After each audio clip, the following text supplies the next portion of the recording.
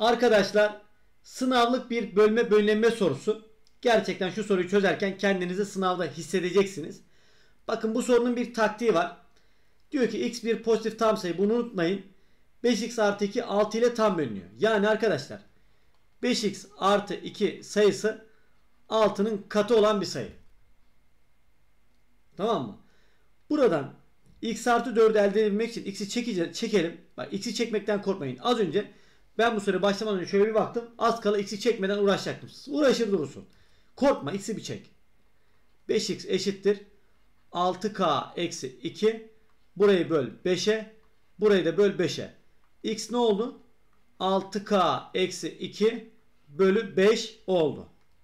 Bakın ben şu anda x'i buldum. x neymiş? 6k eksi 2 bölü 5'miş. Tamam. Ama bana bunu sormuyor.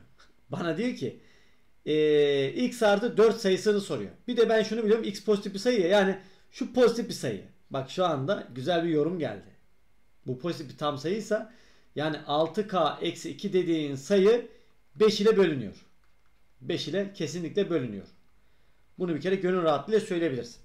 Ama bu bir kenarda dursun. Bu da bir kenarda dursun. Bak bu da bir kenarda dursun. Tamam Şimdi geçelim şuraya. Ee, x artı 4'ü elde edeceğim. Ben buna 4 ekleyeyim o zaman. 6k eksi 2 bölü 5 artı 4 diyelim arkadaşlar.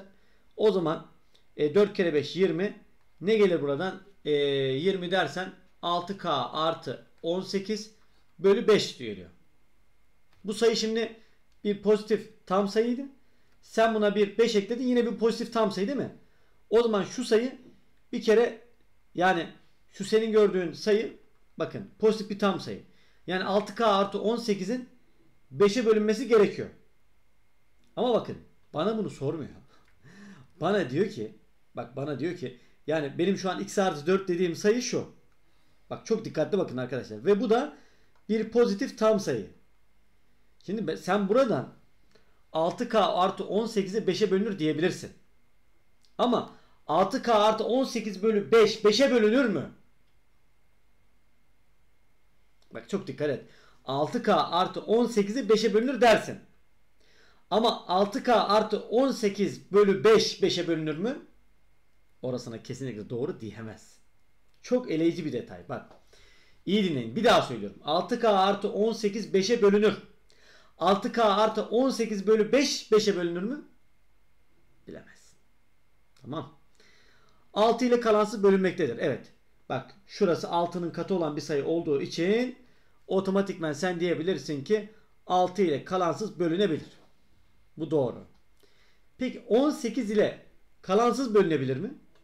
Bak 18'e buradan bölündüğü kesin ama K'ya 1 dersin bölünmez. Ya da başka bir şey K'ya 5 dersin bölünmez. Dolayısıyla buna kesinlikle doğru diyemezsin. Kesinlikle doğru diyebileceğin yalnız iki Bursa seçeneğidir. Gerçekten tam sınavlık. Bak ÖSYM'yi okuyun. ÖSYM'nin tarzında bir soru.